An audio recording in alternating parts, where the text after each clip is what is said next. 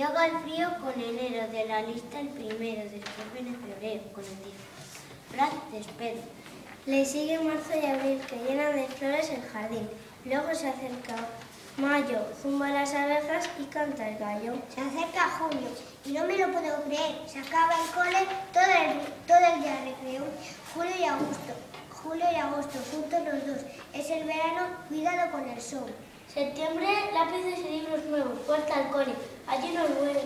Vemos. Continúa la lista con los turnos. Asando castañas en la lumbre. Casi, casi al final está noviembre, que el otoño enciende. Y diciembre, que es el último, pero es mi favorito, llega la Navidad y cantamos villancicos.